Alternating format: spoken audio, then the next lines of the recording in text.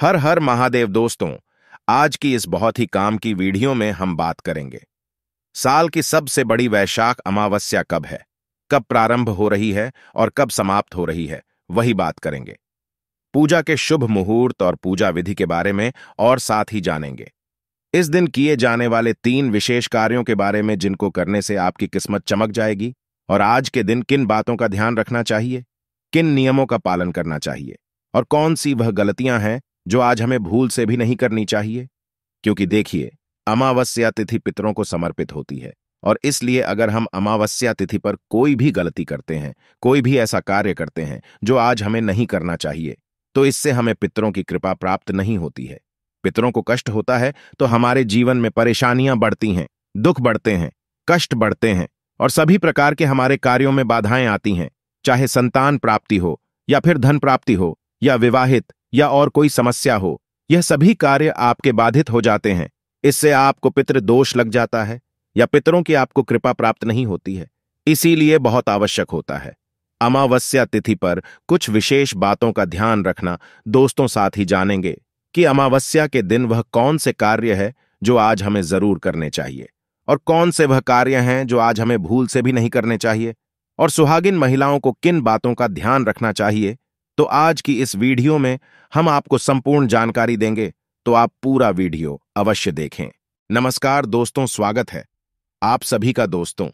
वैसे तो प्रत्येक ही मास की अमावस्या बहुत महत्वपूर्ण होती है, लेकिन वैशाख मास की अमावस्या को विशेष रूप से महत्वपूर्ण माना गया है, क्योंकि हिंदू धर्म में वैशाख महीने को अन्य की तुलना में सर्वश्रेष्ठ माना गया है। यही वजह है कि इस महीने में पढ़ने वाली अमावस्या बेहद खास होती है अमावस्या की तिथि पितृ देवताओं को समर्पित होती है। पितृदोष से मुक्ति पाने के लिए अमावस्या का विशेष महत्व होता है। इस दिन पवित्र गंगा नदी में ढूबकी लगाना, पितृतर्पण, पिंड दान, हवन और ब्राह्मणों को भोजन कराने जैसे धार्मिक कार्य शुभ माने गए हैं। ज्योतिष के अनुसार यह समय बहुत शक्तिशाली होता है, क्योंकि यह चंद्रमा को समर्पित है और इस दिन चंद्रमा अपने अस्त काल में होता है। इस दिन विवाह सगाई मुंडन और गृह प्रवेश जैसे शुभ कार्य नहीं किए जाते हैं। वैशाख अमावस्या के दिन सत्तू का दान भी दिया जाता है। इस कारण से सतवाई की अमावस्या भी कहते हैं। जिन जातकों के ऊपर काल सर्प दोष होता है, उनके लिए वैशाख अमावस्या के दिन स्नान और पितरों की शांति कराकर यह दोष दूर किया जा सकता है। अमावस्या के दिन अगर उपवास रखा जाए तो उपवास रखने से पितृदोष और गृह दोष दूर हो जाते हैं। नकारात्मक ऊर्जा को घर से दूर रखने के लिए अमावस्या। तिथि के दिन हनुमान जी की पूजा और हनुमान जी के मंत्रों का जाप करना शुभ होता है। इस दिन तामसिक चीज़ों का सेवन करने से बचना चाहिए। अमावस्या के दिन शनिदेव को तेल अर्पित करना चाहिए। इसके अलावा इस दिन काली उड़द और लोहे का भी दान करना चाहिए। अमावस्या के दिन पितरों के निमित्त पिंड दान श्राद्ध तर्पण करने से पितरों को तृप्ति मिलती है। और इस दिन प्रदोष काल में शाम को दीप दान करने से अकाल मृत्यु का भय नहीं रहता। आज के दक्षिण भारत में शनि जयंती भी मनाई जाती है। इसलिए इस दिन शनिदेव की पूजा और आराधना करने का विशेष महत्व है। अमावस्या तिथि पर किसी पवित्र नदी के जल से स्नान अवश्य करना चाहिए। ऐसा करने से सभी पापों से मुक्ति मिल जाती है। फिर पितरों के निमित्त तर्पण करना चाहिए और तर्पण करने के लिए हाथ में जल और काले तिल ले। और फिर ओम पितृ देवाय नमः। इस तरह मंत्र का जाप करते हुए दक्षिण दिशा की तरफ़ मुँह करके पितरों को जल अर्पित करना चाहिए। मान्यताओं के अनुसार वैशाख मास की त्रेता युग का आरंभ हुआ था। इस वजह से वैशाख अमावस्या का धार्मिक महत्व और भी बढ़ जाता है। तो आइए जानते हैं, अमावस्या तिथि कब प्रारंभ हो रही है? लेकिन उससे पहले दोस्तों, हमारा आपसे हाथ जोड़कर निवेदन है कि अभी तक आपने हमारे वीडियो को लाइक नहीं किया। तो वीडियो को लाइक करके चैनल को सब्सक्राइब अवश्य कर लें। चलिए जानते हैं कि अमावस्या तिथि कब प्रारंभ हो रही है, कब समाप्त हो रही है और अमावस्या तिथि कब मनाई जाएगी। इस बार अमावस्या तिथि प्रारंभ होगी। सात मई मंगलवार की सुबह ग्यारह बजकर बयालीस मिनट से और समाप्त होगी। आठ मई बुधवार की सुबह आठ बजकर इक्यावन मिनट पर ऐसे में उदय तिथि के अनुसार आठ मई बुधवार को ही वैशाख अमावस्या का स्नान दान किया जाएगा और व्रत भी इस दिन किया जाएगा और दक्षिण भारत में शनि जयंती भी इसी दिन मनाई जाएगी। जब भी अमावस्या तिथि दो दिन तक पड़ती है तो ऐसे में आप पहली तिथि पर शाम के समय पीपल की पूजा कर सकते हैं। पीपल की पूजा करने के लिए सुबह सूर्योदय के बाद पीपल के पेड़ की जड़ में जल अर्पित करना चाहिए। और शाम के समय सरसों के तेल का दीपक पितृ देवताओं के निमित्त जलाना चाहिए। आठ मई बुधवार को सूर्योदय होगा। सुबह पाँच बजकर तरेपन मिनट पर सूर्यास्त होगा। शाम छह बजकर तरेपन मिनट पर ब्रह्म मुहूर्त। सुबह चार बजकर सोलह मिनट से पाँच बजकर चार मिनट तक रहेगा। पितरों के निमित्त तर्पण व पिंडदान आदि कार्य सुबह ग्यारह बजे से लेकर दो बजकर तीस मिनट तक किए जा सकते हैं। राहुकाल दोपहर बारह बजे से डेढ़ बजे तक रहेगा। आठ मई को वैशाख अमावस्या के अवसर पर तीन शुभ योग, सर्वार्थ सिद्धि योग, सौभाग्य योग और शोभन योग बन रहे हैं। उस दिन सौभाग्य योग प्रातकाल से लेकर शाम पाँच बजकर इकतालीस मिनट तक है। उसके बाद से शोभन योग प्रारंभ होगा, जो पूरी रात रहेगा। इसके साथ ही वैशाख पूर्णिमा पर शिववास का भी योग सुबह आठ बजकर इक्यावन मिनट से बन रहा है। इस समय में भगवान शिव का अभिषेक कर सकते हैं। साथ ही काल सर्प दोष का निवारण कर सकते हैं। अमृतकाल मुहूर्त रहेगा। सुबह नौ बजकर नौ मिनट से लेकर सुबह उस बजकर सैंतीस मिनट तक शनि पूजा का समय रहेगा। शाम पाँच बजकर बीस मिनट से रात सात बजकर एक मिनट से शनिदेव की पूजा सूर्यास्त के बाद की जाती है। कहा जाता है कि अमावस्या के दिन अगर कुछ खास उपाय कर लिए जाएँ तो तीन महादोषों से मुक्ति मिल जाती है। इसलिए अब जाने कुछ विशेष उपायों के बारे में शनि दोष, यदि आपकी कुंडली में है, शनि की साढ़े साती या ढैया है तो व्यक्ति के जीवन में बहुत सारी परेशानियाँ आती हैं। ऐसे में इस दिन शनिदेव की विधि विधान से पूजा करने से शनिदेव का आशीर्वाद मिलता है। शनि मंदिर में जाकर शनिदेव को काले तिल सरसों का तेल काला या नीला वस्त्र अर्पित करें, ताकि शनि कवच और शनि चालीसा का पाठ करें। कुंडली में राहु के का अनुपात ग्रहों के साथ विशेष स्थिति से काल सर्प दोष बनता है। ऐसे में काल सर्प दोष निवारण के लिए आज के दिन आप किसी पवित्र नदी में चांदी का नाग और नागिन का जोड़ा भी विसर्जित कर सकते हैं। ऐसा करने से काल सर्प दोष दूर हो जाता है। अमावस्या के दिन काली चींटियों को शक्कर मिला हुआ आटा खिलाने से पाप कर्मों का क्षय होता है। अमावस्या के दिन प्रातः का सूर्य भगवान को अर्घ देना चाहिए। अर्घ देते समय तांबे के लोटे में लाल सिंदूर, लाल फूल व काले तिल ढालना शुभ होता है। इसी दिन आपको स्नान, दान इत्यादि सभी नियमों का पालन करना है। दोस्तों, आज के दिन अगर आप कुछ बातों का ध्यान रखते हैं, कुछ चीज़ों का दान करते हैं तो सभी प्रकार के क्षण दोषों से भी मुक्ति मिलती है। और किसी भी प्रकार की आर्थिक, शारीरिक या मानसिक पीड़ा से अगर आपको परेशानी हो रही है तो आज का दिन बहुत महत्वपूर्ण है। आज के दिन उपाय कीजिए, जिससे कि आपको लाभ होगा। और अब बात करते हैं कि हमें आज के दिन क्या करना चाहिए और क्या नहीं करना चाहिए। लेकिन उससे पहले अभी तक आपने वीडियो को लाइक नहीं किया है तो वीडियो को लाइक करके चैनल को सब्सक्राइब अवश्य ही कर ले। तो देखिए, अमावस्या तिथि में शास्त्रों के अनुसार आज के दिन प्रातःकाल जल्दी उठकर पवित्र नदियों में स्नान करना चाहिए। तो अगर आप जा सकते हैं, किसी पवित्र नदी में स्नान करने, तब तो बहुत अच्छी बात है। नहीं तो अपने घर में भी गंगाजल मिश्रित जल से स्नान कर सकते हैं, लेकिन स्नान करने से पहले घर की थोड़ी सी साफ़ सफ़ाई कर लीजिए।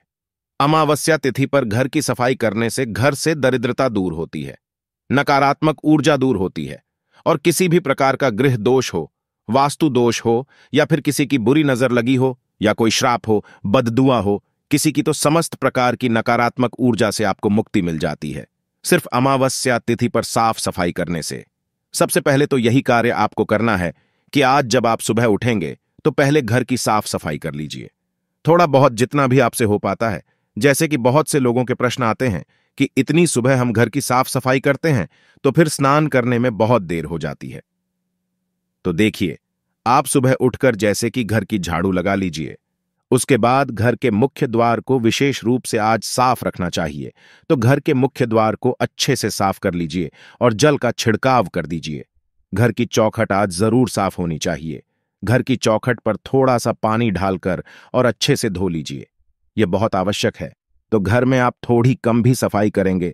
तो चलेगा स्नान करने के बाद आप जैसे कि दिन में भी साफ़ सफ़ाई करते हैं। आज के दिन अगर घर से जाले उतारे जाते हैं, घर के कोने कोने की अगर साफ़ सफ़ाई करी जाती है तो घर में जो परेशानियाँ होती हैं, वह दूर हो जाती है। तो मान लीजिए कि अगर आप सुबह नहीं कर पाते हैं तो दिन में भी कर सकते हैं। तो सुबह आपसे जितना भी हो पाता है, उतनी साफ़ सफ़ाई कर लीजिए। लेकिन घर के मुख्य द्वार की सफ़ाई ज़रूर कीजिए। घर के मुख्य द्वार पर जल का छिड़काव होना चाहिए। आज के दिन घर की चौखट ज़रूर धोनी चाहिए, क्योंकि कहा जाता है कि आज के दिन पित्र आपके दरवाजे पर ज़रूर आते हैं। किसी न किसी स्वरूप में वह आपके घर आते हैं। अपने परिवारजनों के पास आते हैं। इसलिए अमावस्या तिथि को विशेष माना गया है, पितरों के लिए पितरों की कृपा पाने के लिए और शास्त्रों के अनुसार चौखट पर पितरों का वास माना गया है। इसलिए घर की चौखट हमें साफ़ रखनी चाहिए और वहाँ पर स्नान करने के बाद एक दीपक अवश्य प्रज्वलित कर दीजिए। आज घर के मुख्य द्वार पर दीपक प्रज्वलित करने से सभी प्रकार की नकारात्मक ऊर्जा भी दूर होती है। पितृ आपके प्रसन्न होते हैं। आशीर्वाद देते हैं तो आपके घर में जो भी रुके हुए कार्य होते हैं वह पूर्ण होते हैं, और इसलिए सुबह स्नान करने के बाद आप घर पर एक सरसों के तेल का दीपक प्रज्वलित कर दीजिए। दीपक आपको प्रज्वलित करना है, और घर का कोई भी सदस्य प्रज्वलित कर सकता है। ज़रूरी नहीं है कि घर की महिलाएँ ही करेंगी, कोई भी सदस्य प्रज्वलित कर सकता है, और हाँ, आज के दिन पवित्र नदियों में स्नान करने का विधान है। तो देखिए, सबके लिए ऐसा संभव नहीं है कि किसी भी पवित्र नदी में जाकर स्नान कर पाए तो ऐसे में आप अपने घर में भी गंगा जल और काले तिल मिलाकर उस जल से स्नान करें। और हाँ, घर में बच्चे हो, बड़े हो, या फिर बुज़ुर्ग सभी के लिए इसी प्रकार से जल तैयार करना है। मतलब जल में आपको गंगा जल और काले तिल ज़रूर मिलाने हैं। अगर इस प्रकार के स्नान करते हैं, ऐसा करने से परिवार का दुर्भाग्य दूर होता है। सभी परिवार के सदस्यों के ऊपर किसी भी प्रकार का ग्रह दोष हो तो वह दूर हो जाता है। तो साल की बड़ी अमावस्या है। इस नियम का पालन प्रत्येक व्यक्ति को ज़रूर करना चाहिए और स्नान करने के बाद भगवान सूर्यदेव को जल अर्पित करें। आप जल में अगर थोड़े से काले तिल मिलाकर जल अर्पित करते हैं तो यह बहुत ही अच्छा होगा। इससे सभी प्रकार के बुरे ग्रह दोषों से आपको मुक्ति मिलती है। और किसी भी प्रकार की शनि जनित पीड़ा हो तो इससे भी मुक्ति मिलती है। और भगवान सूर्य देव को जल अर्पित करने के बाद आप तुलसी में थोड़ा सा कच्चा दूध अवश्य अर्पित कीजिए। इसके बाद आप अपने घर के मंदिर में जो भी नित्य पूजा है, वह कर ले। और हाँ, आज पीपल की पूजा का विशेष महत्व होता है तो घर के आसपास अगर पीपल का वृक्ष हो तो वहाँ जाकर आप जल में थोड़े से काले तिल मिलाकर पीपल की जड़ में अर्पित कीजिए। और इसके बाद धूप दीप करके पीपल की पूजा कर लीजिए। और हाँ आज संध्या काल में पीपल के पास दीपदान अवश्य करना चाहिए। तो एक मिट्टी का दीपक या फिर आप चाहे तो आटे का दीपक बना सकते हैं। उसमें सरसों का तेल ढाल दीजिए और एक लंबी बाती ढालकर और अपने पितरों का मन में ध्यान करते हुए दीप प्रज्वलित कीजिए। उसके बाद थोड़े से काले तिल उस दीपक में ढाल दीजिए और अपनी परेशानियों से मुक्ति के लिए अपने पितरों से और भगवान शनिदेव से प्रार्थना कीजिए। इस प्रकार से अगर आप आज के दिन पीपल की पूजा करते हैं तो समस्त प्रकार के कष्टों से, दुखों से आपको मुक्ति मिल जाती है।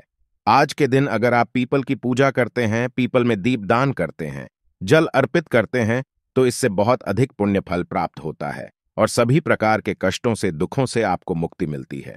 अब मान लीजिए कि आपके घर के आसपास कोई पीपल का वृक्ष ना हो तो ऐसे में क्या करें? तो देखिए, घर के आसपास कोई शनि मंदिर। शनि मंदिर में भी आप जाकर थोड़ा सा तेल अर्पित कर सकते हैं। शनिदेव पर आप दीप दान कर सकते हैं। और मान लीजिए कि आपके घर के आसपास शनिदेव का मंदिर भी ना हो, पीपल का वृक्ष भी ना हो तो ऐसे में क्या करें? तो ऐसे में आपके घर के आसपास भगवान भोलेनाथ का मंदिर तो अवश्य ही होगा। शिवालय तो हर जगह उपलब्ध होता है तो ऐसे में अगर आपके घर के आसपास शिव मंदिर हो तो वहाँ जाकर भगवान भोलेनाथ के ऊपर काले तिल जल में मिलाकर अर्पित कीजिए और विधि विधान से भगवान शिव की पूजा, आराधना कीजिए।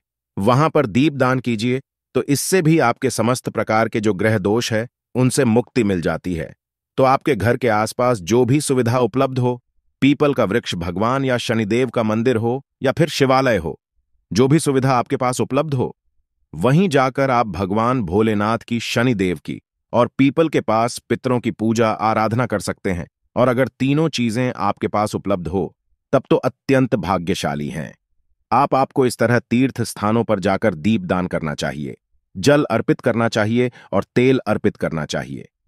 शनिदेव के मंदिर में तो आज का दिन इतना श्रेष्ठ है कि आज के दिन अगर आप यह सभी कार्य करते हैं तो निश्चित ही आपके भाग्य में चमत्कारी रूप से परिवर्तन होगा और आपके सभी कार्य जो बिगड़े हुए हैं, वह सभी कार्य बनेंगे तो पूरे विश्वास से यह सभी कार्य कीजिए। निश्चित ही आपको लाभ होगा। और अब बात करते हैं कि आज किन चीज़ों का दान करना चाहिए। तो देखिए, अमावस्या के दिन काले तिल का दान करना श्रेष्ठ माना जाता है। इसके अलावा आप उड़द की दाल का दान कर सकते हैं, सरसों के तेल का दान कर सकते हैं, कंबल का, यानी कि गर्म वस्त्रों का दान करना आज सबसे श्रेष्ठ माना जाता है, वस्त्रों का दान कर सकते हैं। कोई भी वस्त्र का दान करना चाहिए। इसके अलावा धन का दान कर सकते हैं, अन्न का दान कर सकते हैं, सीधा दान कर सकते हैं, जैसे कि खाने की सामग्री निकालकर किसी ब्राह्मण के यहाँ किसी जरूरतमंद के यहाँ भिजवा सकते हैं, या किसी ब्राह्मण को जरूरतमंद को घर बुलाकर भोजन भी करा सकते हैं। तो यह पूरी तरह से आपके ऊपर निर्भर करता है कि आप कौन सी चीज़ का दान करना चाहते हैं और कितनी संख्या में कितनी मात्रा में दान करना चाहते हैं। और सुहागिन महिलाओं के लिए अमावस्या तिथि पर एक बहुत ज़रूरी नियम है, जिसका पालन आपको करना चाहिए। अमावस्या तिथि पूर्णिमा तिथि, यह दो ऐसी तिथियाँ हैं, जिस दिन भूल से भी सुहागिन महिलाओं को बाल नहीं धोना चाहिए, क्योंकि धार्मिक मान्यताओं के अनुसार सुहागिन महिलाएँ अगर अमावस्या तिथि पर बाल धोती है या पूर्णिमा तिथि पर बाल धोती है तो इससे पति कष्टों में घिरे रहते हैं। पति की उम्र घटती है और दुर्भाग्य का सामना आपको करना पड़ता है तो भूल से भी अमावस्या तिथि के दिन बाल मत धोए। इस बात का ध्यान रखिए। और हाँ, बैसाख अमावस्या है तो आज के दिन आपको ध्यान रखना है कि आपके घर में किसी भी प्रकार की तामसिक चीज़ों का प्रयोग ना हो। जैसे कि अगर आप नियमित तौर पर मांस, मदिरा इत्यादि का सेवन करते हैं तो आज के दिन भूल से भी मत कीजिए। घर में किसी भी प्रकार से लड़ाई झगड़ा ना हो वाद विवाद ना हो। इस बात का भी ध्यान रखिए। और हाँ, शाम के समय आपके घर के मंदिर में ईशान कोण में शुद्ध घी का एक दीपक अवश्य प्रज्वलित होना चाहिए। क्योंकि अमावस्या तिथि माँ लक्ष्मी को अत्यंत ही प्रिय है। तो आज के दिन अगर आप माँ लक्ष्मी की आराधना करते हैं, शुद्ध घी का दीपक जलाकर माँ लक्ष्मी की पूजा आराधना करते हैं तो हमेशा आपके घर में लक्ष्मी का वास बना रहता है। तो दोस्तों, उम्मीद करते हैं कि आपको यह जानकारी पसंद आई होगी। पसंद आई है तो लाइक कर दीजिए, चैनल को सब्सक्राइब करके बेल आइकन को ज़रूर प्रेस कीजिए। तो मिलते हैं आपसे अगले वीडियो में, तब तक के लिए नमस्कार, हर हर महादेव।